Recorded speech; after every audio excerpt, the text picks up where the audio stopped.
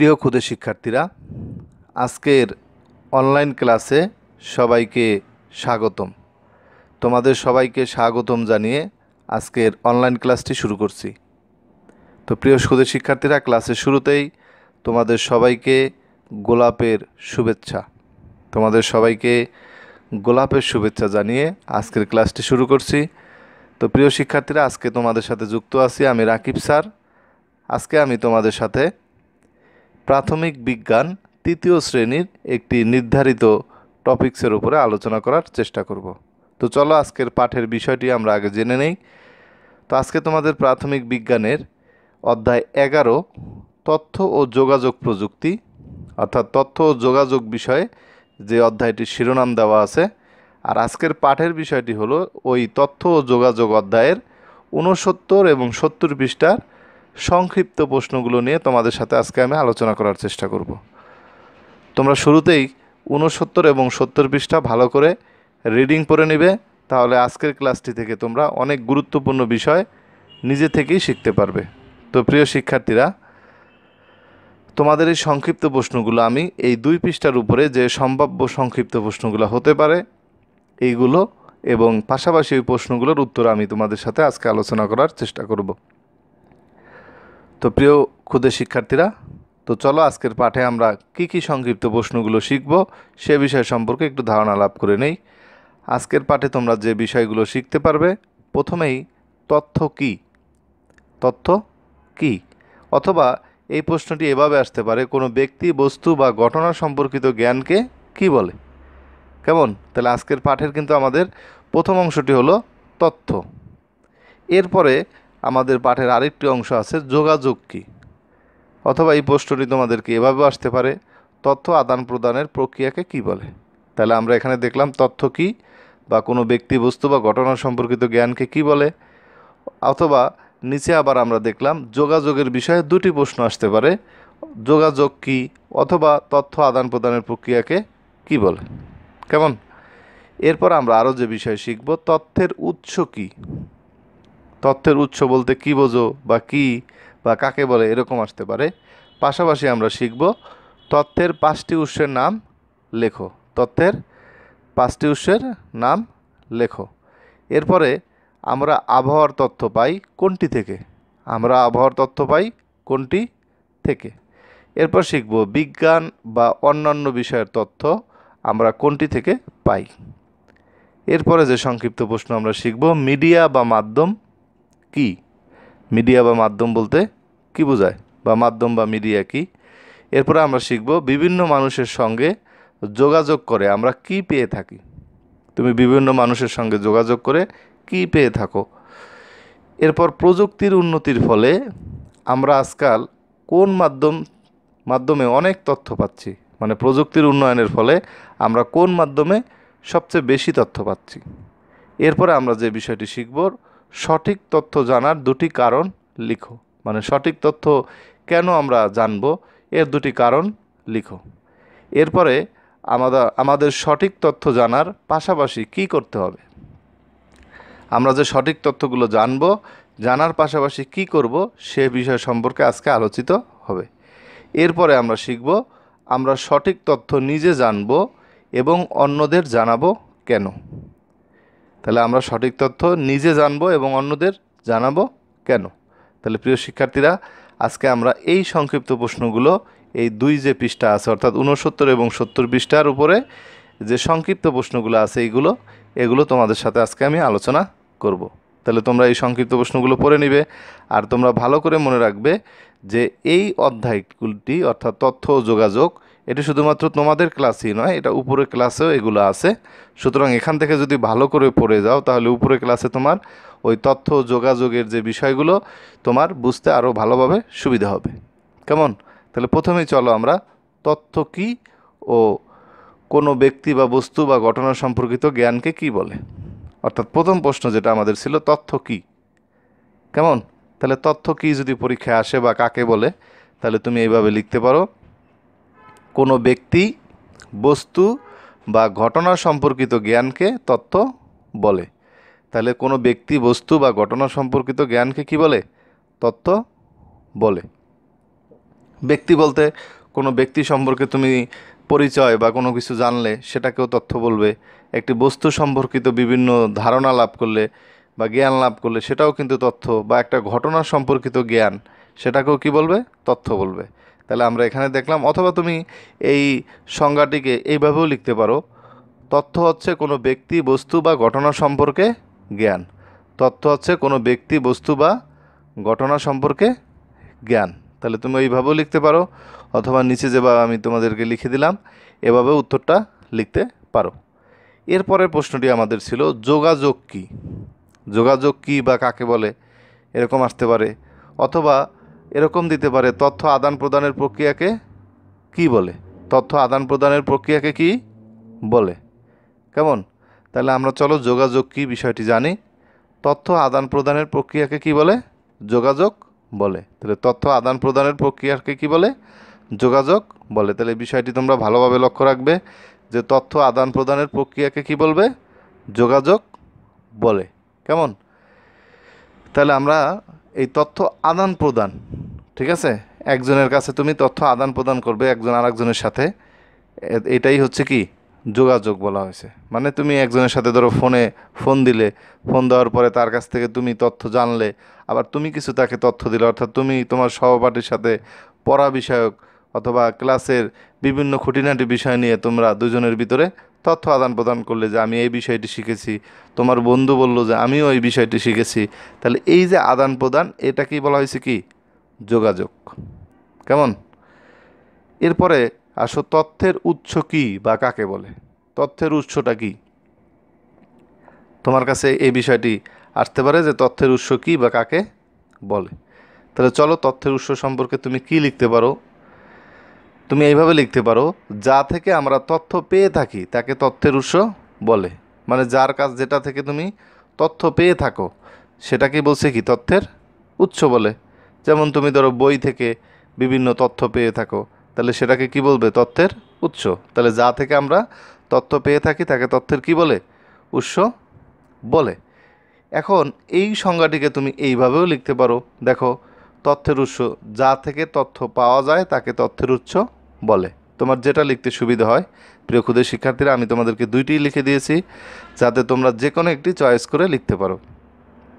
তাহলে যা থেকে আমরা তথ্য পেয়ে থাকি তাকে তথ্যের উৎস বলে, অথবা তুমি এইভাবেও লিখতে পারো, যা থেকে তথ্য পাওয়া যায় তাকে তথ্যের উৎস বলে। তাহলে আমরা এখানে তিনটি সংক্ষিপ্ত প্রশ্নের উত্তর শিখে ফেললাম। এরপর চলো আমাদের পরবর্তী প্রশ্ন রয়েছিল, তথ্যের পাঁচটি উৎসের নাম লিখো। তুমি যে রিডিং পড়তে তোমাকে আমি বলেছিলাম, ওই বইয়ের পৃষ্ঠায় যে উৎসগুলোই লেখা থাকবে, তুমি ওইগুলোই উত্তর লিখবে পরীক্ষায়। কেমন? তাহলে তথ্যের পাঁচটি উৎস সম্পর্কে তোমার কাছে ধারণা চাওয়া হয়েছে। তাহলে তথ্যের পাঁচটি উৎসের নাম হলো, প্রথমেই আমরা জানি আমাদের বইতে দেওয়া আছে টেলিভিশন। টেলিভিশন থেকে আমরা কি? তথ্য জেনে থাকি। এরপর দুই নম্বরে আমরা রেডিও।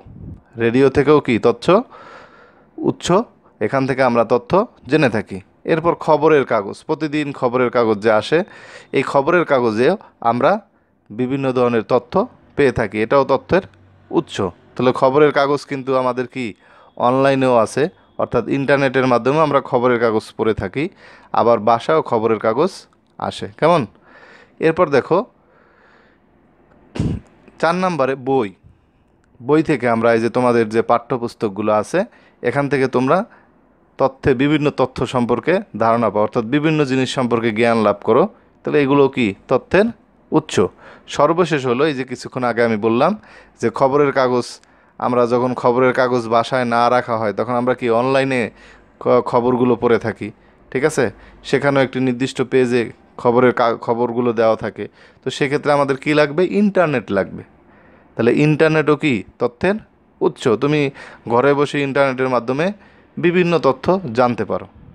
যেমন ধরো তোমার বিদ্যালয়ের বিভিন্ন তথ্য সম্পর্কেও তুমি কি ইন্টারনেট থেকে ধারণা লাভ করতে পারো?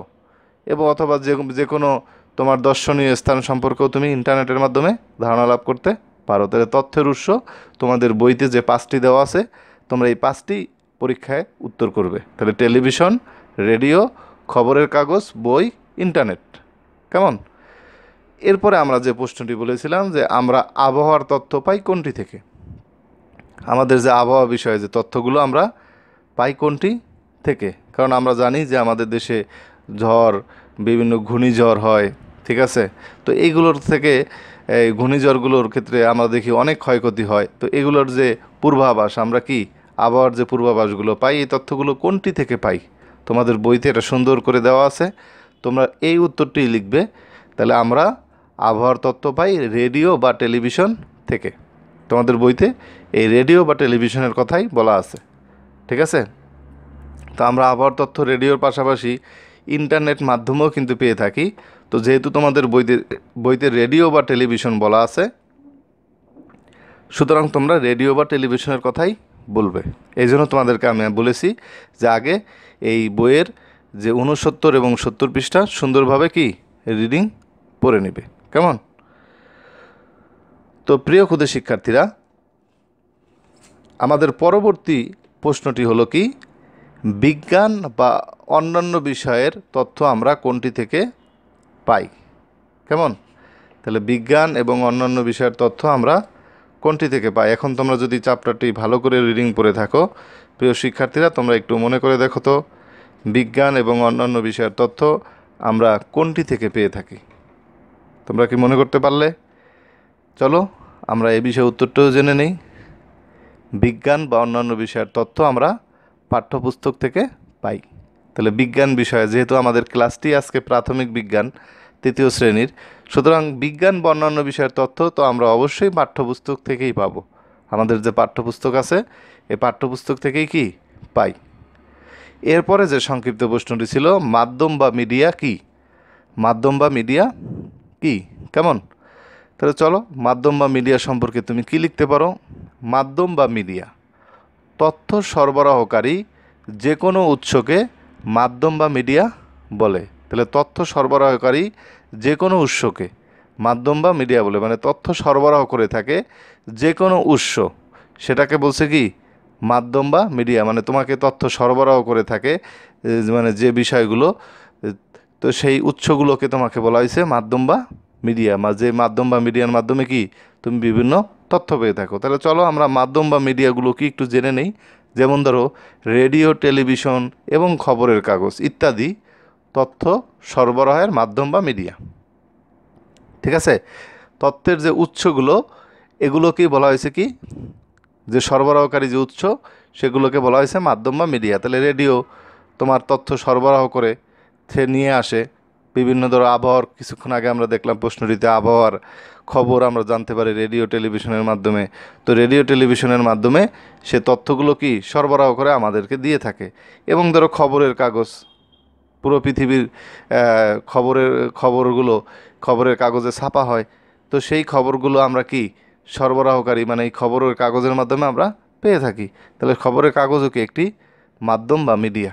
ঠিক আছে? তো প্রিয় শিক্ষার্থীরা, মাধ্যম বা মিডিয়া এটি সুন্দর করে পড়বে। এটা গুরুত্ব- গুরুত্বপূর্ণ একটি প্রশ্ন। এরপর দেখো, বিভিন্ন মানুষের সঙ্গে যোগাযোগ করে আমরা কি পেয়ে থাকি? বিভিন্ন মানুষের সঙ্গে আমরা যোগাযোগ করলাম। তো এই যোগাযোগের মাধ্যমে আমরা কি পেয়ে থাকি? যোগাযোগের উদ্দেশ্যটা কি আমাদের?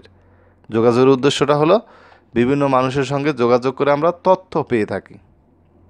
একজন মানুষ আর একজন মানুষের সাথে যখন যোগাযোগ করে তখন তার কাছ থেকে কী নেয়? তথ্য নেয়। যেমন ধরো তুমি তুমি তোমার সহপাঠীর সাথে যোগাযোগ করে তুমি যখন একদিন স্কুলে না আসো, তখন কি তার কাছ থেকে তুমি স্কুলের পড়াটি জেনে নাও? অর্থাৎ তুমি যোগাযোগের মাধ্যমে কি তার কাছ থেকে তথ্য নিয়ে নাও যে আজকের ক্লাসে কি কি হোমওয়ার্ক দেওয়া হলো, কি কি ক্লাস হলো, কি কি শেখানো হলো? তো এই বিষয়ে তুমি কি তার সাথে যোগাযোগ করে কি পাও? তথ্য পাও। তো এরকম করে প্রত্যেকটি মানুষই একজনের সাথে আরেকজন যোগাযোগ করে কি তথ্য পেয়ে থাকে। তাহলে আমরা বলব বিভিন্ন মানুষের সঙ্গে যোগাযোগ করে আমরা কি পেয়ে থাকি? তথ্য পেয়ে থাকি। কেমন? তাহলে এখানেও আমরা আরও তিনটি প্রশ্নের উত্তর শিখে ফেললাম। তো প্রিয় ক্ষুদের শিক্ষার্থীরা, চলো পরবর্তী প্রশ্নটি হচ্ছে, প্রযুক্তির উন্নতির ফলে, আমাদের যে প্রযুক্তির, যে প্রযুক্তিগুলো আছে, এটির উন্নতির ফলে আমরা আজকাল কোন মাধ্যমে অনেক তথ্য পাচ্ছি? প্রযুক্তির উন্নতির কারণে কোন মাধ্যমে অনেক তথ্য পাচ্ছি আমরা? সে মাধ্যম কোনটা? কিছুক্ষণ আগে আমরা মাধ্যম বা মিডিয়া দেখলাম যে প্রযুক্তির উন্নতির ফলে আমরা অনেক তথ্য পাচ্ছি সে জায়গা থেকে। তাহলে চলো সে উত্তরটি কী হবে? প্রযুক্তির উন্নতির ফলে আমরা আজকাল ইন্টারনেটের মাধ্যমে অনেক তথ্য পাচ্ছি। তাহলে প্রযুক্তির উন্নতির ফলে আজকাল আমরা কিসের মাধ্যমে? ইন্টারনেটের মাধ্যমে। এ বিষয়টি মনে রাখবে যে ইন্টারনেটের মাধ্যমে কি? আমরা অনেক তথ্য পাচ্ছি। যেমন ইন্টারনেটের মাধ্যমে তুমি কি রেডিও শুনতে পারো, ইন্টারনেট মাধ্যমে মাধ্যমে তুমি টেলিভিশনের চ্যানেলগুলোও দেখতে পারো। এরপর তুমি খবরের কাগজে যে নিউজগুলো আছে, এগুলো তুমি অনলাইনেও দেখতে পারো ইন্টারনেটের মাধ্যমে। এবং তুমি তোমার যে ক্লাসটি করতেছো, সেটাও কি ইন্টারনেট ব্যবহার করেই ক্লাসটি হচ্ছে? অর্থাৎ তুমি যে তোমার তৃতীয় শ্রেণির যে আজকের ক্লাসটি দেখতেছো, এটাও কি ইন্টারনেট ব্যবহার করে তুমি দেখতেছো ইউটিউবে অথবা বিভিন্ন পেজে এই ক্লাসগুলো হয়ে থাকে? তার মানে আমরা কি বুঝলাম? যে অনেক তথ্য পাওয়া যাচ্ছে কিসে? ইন্টারনেটের মাধ্যমে। ইন্টারনেটের মাধ্যম ছাড়া এটা কি সম্ভব নয়। তাহলে এই বিষয়টি মনে রাখবে যে আজকাল আমরা অনেক তথ্য পেয়ে থাকি ইন্টারনেটের মাধ্যমে। এরপরের যে আমাদের প্রশ্নটি ছিল, সঠিক তথ্য জানার দুটি কারণ লিখো। সঠিক তথ্য জানার দুটি কারণ লিখতে বলছে তোমাকে। তো সঠিক তথ্য জানার দুটি কারণ। তো আমি তোমাদেরকে দুটি কারণের পাশাপাশি আরও একটি কারণ শিখিয়ে দিব যাতে তোমরা পরীক্ষায় আসলে দুটিই লিখতে পারো। তাহলে সঠিক তথ্য জানার কারণ। সঠিক তথ্য জানার কারণ কি? আমরা সঠিক তথ্য কেন জানি? জানার কারণটা কি? তাহলে প্রথমে আমরা যে বিষয়টি লিখব, নতুন কিছু শেখার জন্য। তাহলে নতুন কিছু যখন তুমি শিখবে, তখন তথ্যটা কি হতে হবে?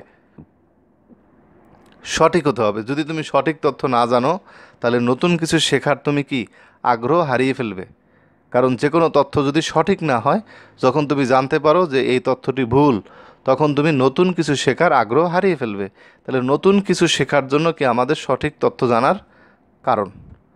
এরপর হলো সঠিক সিদ্ধান্ত নেওয়ার জন্য। সঠিক সিদ্ধান্ত নেওয়ার জন্য কি করি আমরা? সঠিক তথ্য আমাদের জানতে হয়। তাহলে সঠিক সিদ্ধান্ত যখন তুমি নিতে যাবে, তখন অবশ্যই কি তথ্যটা সঠিকভাবে জানতে হবে। যেমন ধরো বিচারক যখন বিচার করে, তখন যদি সে ওই বিচার কাজের যে ঘটনা সম্পর্কে তোমার এই বিচার হচ্ছে, তো সে সে জায়গায় যদি সে সঠিক তথ্য না জানে, তাহলে সে সঠিক সিদ্ধান্তে উপনীত হতে পারবে না। অর্থাৎ তার যে বিচারটা হবে, সেটা কি অনেক সময় ভুল হয়ে যাবে। তাহলে সঠিক সিদ্ধান্ত নেওয়ার জন্য কি সঠিক তথ্য জানতে হবে? এরপরে দেখো, সুন্দর জীবনযাপনের জন্য। তিন নাম্বারটা কি? সুন্দর জীবনযাপনের জন্য কি আমাদের সঠিক তথ্য জানতে হবে? তুমি যদি সুন্দর একটা জীবন চাও, তাহলে সেটার জন্য তোমার কি সঠিক তথ্য জানতে হবে? সঠিক তথ্য না জানলে তুমি কি সুন্দর জীবন আর থাকবে না, ভুল পথে চলে যাবে। ঠিক আছে? তাহলে আমরা এই সঠিক তথ্য জানার আমাদের বইয়ের আলোকে।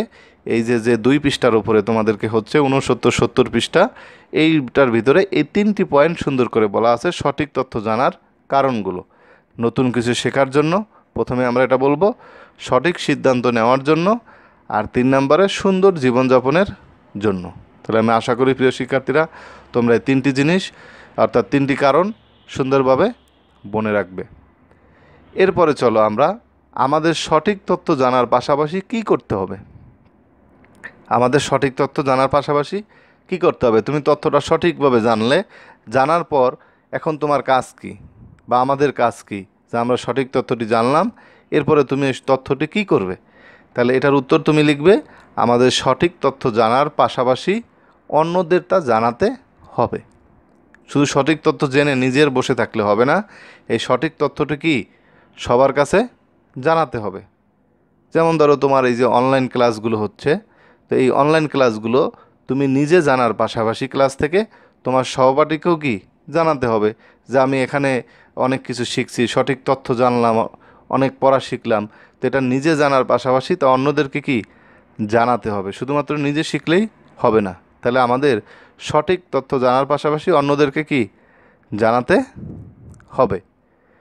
তো প্রিয় শিক্ষার্থীরা, আমাদের ক্লাসের সর্বশেষ যে প্রশ্নটি ছিল, আমরা সঠিক তথ্য নিজে জানব এবং অন্যদের জানাব কেন? আমি সঠিক তথ্য নিজে জানলাম, কিছুক্ষণ আগে দেখলাম যে এই প্রশ্নটির ভিতরে আমরা নিজে জানার পাশাপাশি অন্যদেরকে জানাব। তাহলে সঠিক তথ্য আমি নিজে জানব এবং অন্যদেরকে জানাব কেন? কেন এটা জানাব? তাহলে এটার উত্তরটি হবে, তোমাদের বইতে সুন্দর করে দেওয়া আছে, সুন্দর জীবনযাপনের জন্য, আমাদের সুন্দর জীবনযাপনের জন্য আমরা সঠিক তথ্য নিজে জানব এবং অন্যদেরকে কি এই তথ্যটি জানাব। কেমন? তার মানে আমরা এখানে দেখলাম সুন্দর জীবনযাপনের জন্যই আমরা সঠিক তথ্য নিজে জানব এবং অন্যদেরকে কি এটা জানাব। তাহলে তুমি সুন্দর জীবনযাপনের জন্য তথ্যটি নিজে জানবে এবং পাশাপাশি কি অন্যদের জানাবে। তো প্রিয় শিক্ষার্থীরা, আশা করি তোমাদের এই দুই, দুইটা পৃষ্ঠা অর্থাৎ উনসত্তর সত্তর পৃষ্ঠা এগারো অধ্যায়ের এই দুই পৃষ্ঠার উপরে সংক্ষিপ্ত প্রশ্নগুলো আমি তোমাদের সাথে বিস্তারিতভাবে আলোচনা করার চেষ্টা করলাম। আশা করি তোমরা প্রশ্নগুলো ভালোভাবে জানতে পেরেছ এবং প্রশ্নগুলোর উত্তর সম্পর্কেও ধারণা লাভ করতে পেরেছ। তো প্রিয় শিক্ষার্থীরা, তো প্রত্যেকটি ক্লাসের পরেই কি আমি তোমাদেরকে বাড়ির কাজ দিয়ে থাকি? কারণ বাড়ির কাজগুলো না দিলে তুমি এতক্ষণ যা শিখলে, এটার উপরে তুমি কতটুকু শিখলে, সেটার জন্যই কিন্তু তোমার বাড়ির কাজ দেওয়া তো এই ক্লাসটি শেষ হওয়ার সাথে সাথে এই প্রশ্নের উত্তরগুলো নিজে লেখার চেষ্টা করবে। তথ্য কি? অর্থাৎ তথ্য কি, জিনিসটা কি? এটা আমরা শুরুতেই শিখেছি। এরপর যোগাযোগ কি? এই জিনিসটাও আমরা শিখেছি। তো এই তথ্য কি, যোগাযোগ কি? এই জিনিসটি লেখার চেষ্টা করবে। এরপর তথ্যের পাঁচটি উৎসের নাম লেখো। তথ্যের পাঁচটি উৎসের নাম লিখবে। এরপরে আছে সঠিক তথ্য জানার দুটি কারণ লিখো। সঠিক তথ্য জানার কারণগুলো কি কি? সে সম্পর্কে তুমি লিখবে। অর্থাৎ এই বাড়ির কাজ তিনটি প্রশ্ন থাকবে, ক্লাসটি শেষ হওয়ার চারটি প্রশ্ন। এই চারটি প্রশ্ন ক্লাসটি শেষ হওয়ার সাথে সাথেই তুমি এই চারটি প্রশ্নের উত্তর নিজে লিখবে। তো প্রিয় শিক্ষার্থীরা, তো বাড়ির কাজ দেওয়ার পরে, তো প্রিয় শিক্ষার্থীরা, তোমরা যে বিষয়টি মনে রাখবে, তোমাদের এই পরবর্তী ক্লাসটি পেতে আমার চ্যানেলটি সাবস্ক্রাইব করে রাখবে। তো আমার চ্যানেলটি মাস্টার মশাই নামে পরিচিত, যে প্ল্যাটফর্ম থেকে তোমাদেরকে আমি ক্লাসগুলো শেয়ার করে থাকি, অর্থাৎ মাস্টার মশাই আমার চ্যানেলটি। তো এই জন্য তোমাকে যে কাজটি করতে হবে, এরকম লাল বাটনে সাবস্ক্রাইব লেখা আসবে, এখানে প্রেস করবে, পাশে দেখবে একটি বেল বাটন আসবে, এই বেল বাটনটি বাজিয়ে দিবে। কেমন? তো প্রিয় শিক্ষার্থীরা, তোমাদেরকে কিছুক্ষণ আগে যে বাড়ির কাজটি দিয়েছি, তোমরা ভেবো না যে স্যার অনলাইনে বাড়ির কাজ দেওয়ার পর এটা কীভাবে চেক করবেন?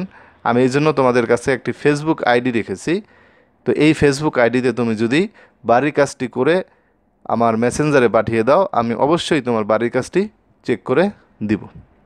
পাশাপাশি তোমাদের জন্য আমি একটি ফেসবুক পেজ রেখেছি মাস্টার মশাই নামে। এখানেও তুমি বিভিন্ন ক্লাসের আপডেটগুলো পাবে বা শিক্ষণীয় বিভিন্ন বিষয় পাবে। পাশাপাশি তোমাদের বিভিন্ন জিনিস শেয়ারের জন্য, অর্থাৎ তোমার বিভিন্ন মনের বিভিন্ন জিনিসগুলো শেয়ার করার জন্য আমি একটি ফেসবুক গ্রুপও রেখেছি, যেখানে তুমি শিক্ষণীয় বিভিন্ন বিষয় শেয়ার করতে পারবে। অর্থাৎ তুমি শেখার পাশাপাশি তোমার বন্ধুরাও যাতে শিখতে পারে এই জন্য আমি একটি গ্রুপও রেখেছি মাস্টার মশাই নামে। তুমি চাইলে এটার সাথেও যুক্ত হতে পারো। তো প্রিয় শিক্ষার্থীরা, আমি ক্লাসের একবারই শেষ পর্যায়ে চলে এসেছি। তো আজকের ক্লাসে যে তোমাদেরকে আমি সংক্ষিপ্ত প্রশ্নগুলো শিখেছি এই প্রশ্নগুলো ভালোভাবে মুখস্থ করবে। বাড়ির কাজটি করে অবশ্যই আমার কাছে পাঠিয়ে দেবে। আর আজকের ক্লাসটি তুমি নিজে শেখার পাশাপাশি তুমি তোমার সহপাঠীকেও এই ক্লাসের বিষয়ে বলবে, যাতে সেও এই ক্লাসটি থেকে অনেক কিছু ধারণা লাভ করতে পারে। তো আমি ধারাবাহিকভাবে তোমাদের এই এগারো অধ্যায়ের উপরে সংক্ষিপ্ত প্রশ্ন এবং বর্ণনামূলক প্রশ্নগুলো আলোচনা করব। তো প্রিয় শিক্ষার্থীরা, ক্লাসের একবারই শেষ পর্যায়ে আমি চলে এসেছি, এখন বিদায় নেওয়ার পালা। তো বিদায় আনতে তোমাদের সবাইকে ধন্যবাদ জানিয়ে আমি রাকিব স্যার, আজকের ক্লাসটি থেকে বিদায় নিচ্ছি।